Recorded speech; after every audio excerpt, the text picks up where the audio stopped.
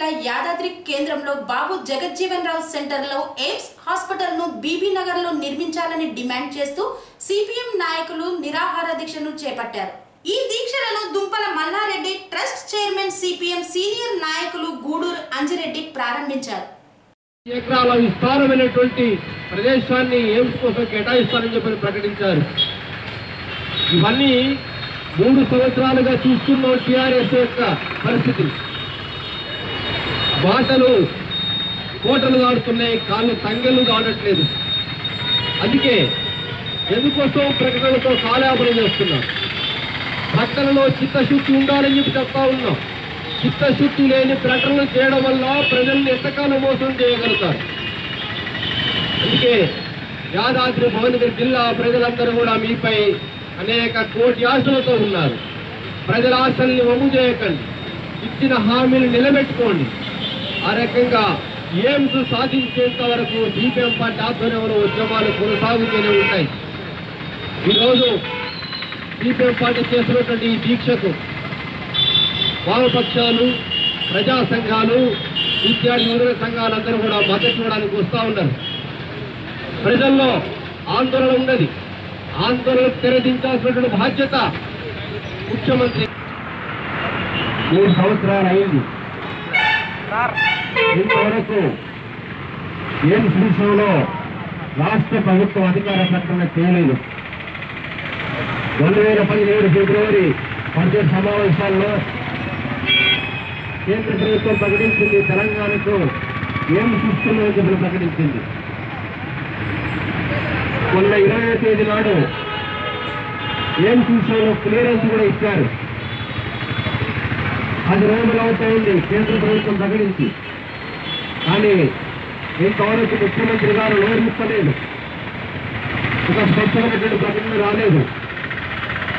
ముఖ్యమంత్రి గారు ప్రకటన చేయకపోయేసరికి యాదాద్రి భువనగిరి జిల్లా ప్రజల్లో అనేక రకాల అనుమానాలు కూడా ప్రారంభమైనవి. ఎందుకోసం ఏం తీసుకోవాలో ప్రభుత్వం బేగుతులాడుతూ ఉంది? సరైనటువంటి ప్రకటన ఎందుకోసం చేయడం లేదు.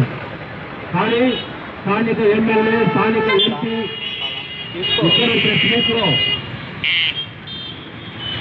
ఎయిమ్స్ని టీవీ నగర్కి ఇస్తానని ముఖ్యమంత్రి గారు హామీ ఇచ్చారని చెప్తున్నారు. కానీ మరి ముఖ్యమంత్రి గారు స్వయంగా ఎందుకోసం మాట్లాడట్లేదు? కాబట్టి వెంటనే ముఖ్యమంత్రి ప్రకటించాలని చెప్పి కోరుతా ఉన్నాం అలాగే అఖిల భారత వైద్య విధాన సంస్థ మన యాదాద్రి జిల్లాకు వచ్చినట్టయితే యాదాద్రి భువనగిరి జిల్లా వైద్యపరంగా ఎంతో అభివృద్ధిలోకి వస్తుంది. ఇక్కడ మెడికల్ కాలేజీ ఒక సూపర్ స్పెషాలిటీ ఆసుపత్రి రావడం అనేటువంటిది ఈ జిల్లానే కాదు ఉమ్మడి నల్గొండ జిల్లా అలాగే చుట్టూన్నటువంటి అనేక జిల్లాలకు అనేక ప్రాంతాలకు కూడా తాను సులువైనటువంటి మారణంగా ఈ ప్రాంతానికి కూడా ఉపయోగపడే అవకాశం ఉంది. అందుకే మేము చెప్తా ఉన్నాం ముఖ్యమంత్రి గారు ఇప్పటికైనా స్పష్టత ఇవ్వండి. అలాగే జిల్లా ఇన్ఛార్జ్ మినిస్టర్గా ఉన్నటువంటి జగదీశ్వర్ రెడ్డి గారు కూడా ఇంతవరకు దీనిపై ఓడిపోలేదు. ఎందుకోసం ఓడిపోట్లేదు? ఇప్పటికి అనేక అనుమానాలు వస్తూ ఉన్నాయి. శ్రీ చైతన్య స్కూల్ విద్యార్థులకు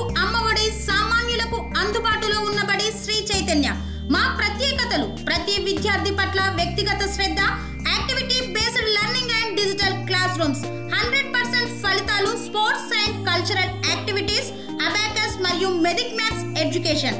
Please visit Shri Chaitanya iTechno school Dammaiguda. Admissions are in progress call eight three seven four seven one double seven seven four nine two four six five six seven nine one zero.